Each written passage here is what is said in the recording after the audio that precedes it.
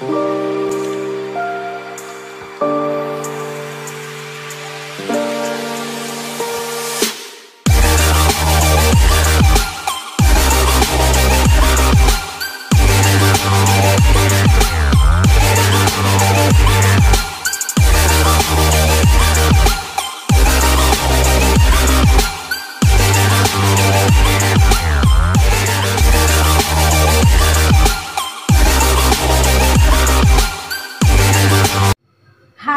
Hello welcome back to my channel. So ఎలా ఉన్నారండి? అందరూ బాగున్నారా? నేనైతే చాలా చాలా బాగున్నాను. సో మీరు ఎలా ఉన్నారో నాకు కింద కామెంట్ సెక్షన్లో చెప్పండి.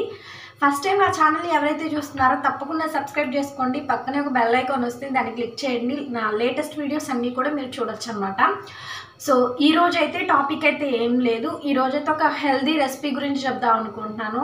అదేంటంటే చిన్న పిల్లలకి ఎయిట్ మంత్స్ బేబీ నుంచి మీరు ఎన్ని ఏజెస్ వాళ్ళకైనా ఇది ఉపయోగించవచ్చు ఇది తిన్ పెట్టచ్చు.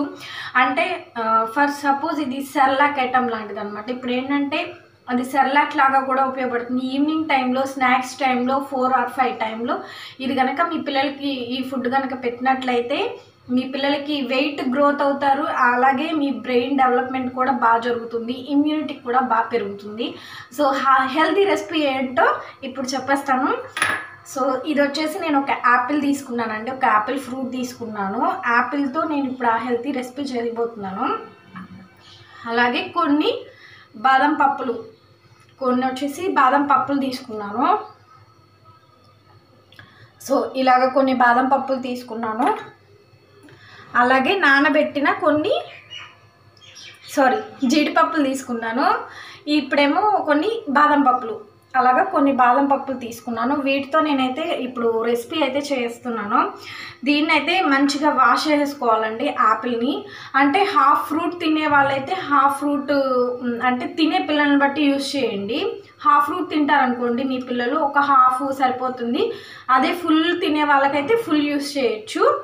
దీన్ని అయితే మంచిగా వాష్ చేసేసుకొని దీన్ని పీసెస్గా కట్ చేసేసుకుంటాం యాపిల్ని అయితే ఫుల్గా వాష్ చేసేసానండి. నేనైతే పీల్ తీసేస్తున్నాను. నీట్గా మీరు కూడా పీల్ తీసేసేయండి. పీల్ తీసేసి అంటే హాఫ్ ఫ్రూట్ తినే వాళ్ళైతే హాఫ్ ఫ్రూట్ యూస్ చేయండి. నేనైతే హాఫ్ ఫ్రూట్ మాత్రమే యూస్ చేస్తున్నాను. మా పాప అయితే హాఫ్ తినడానికే చాలా కష్టం. నాకు వన్ అవర్ టైం స్పెండ్ చేయాలి. అవును అటు తిప్పి ఇటు తిప్పి అది చెప్పి ఇది చెప్పి ఏదో ఒకటి కొంచెం అన్న తింటుంది కదా అని చెప్పని ట్రై చేయాలి. ట్రై చేస్తాను. ఇక్కడ వచ్చేసి నేను బాదం పప్పుని పీల్ తీసేసి చిన్న చిన్న ముక్కలాగా కట్ చేసేసుకొని వేస్తాను. వేస్తున్నాను. జీడిపప్పును కూడా చిన్న చిన్న ముక్కలుగా చేసేసుకొని వేసుకోండి. వేసేసి మెత్తగా గ్రైండ్ చేసేసుకోండి. గ్రైండ్ చేసుకొని ఒక బౌల్లో తీసుకొని మీ పిల్లలకి పెట్టండి. సో నేనైతే ఏదో ఒకటి ట్రై చేయాలి కాబట్టి ట్రై చేస్తున్నాను. మీరు కూడా తప్పకుండా ట్రై చేసేయండి. ఎందుకంటే మీ హెల్త్కి చా మీ పిల్లలకి హెల్త్కి మంచిది అనమాట సో అందువల్ల తిను. ఎలా ఉంది జష్ని? బాగుంది? తినిపిస్తున్నాను అనమాట నేను వద్దంటుంది ఏదో ముక్కలాగా వచ్చింది అది తీసేస్తుంది. అది ఎందుకులే పడేయడం అని చెప్పని నేను తింటున్నాను. సో ఈ వ్లాగ్ అయితే ఇంతటితో ఎంజాయ్ చేస్తున్నానండి నా వ్లాగ్ మీకు నచ్చినట్టయితే తప్పకుండా లైక్ చేయండి షేర్ చేయండి కామెంట్ చేయండి సబ్స్క్రైబ్ చేసుకోండి. ఓకేనండి. Thank you so much. Bye. Take care.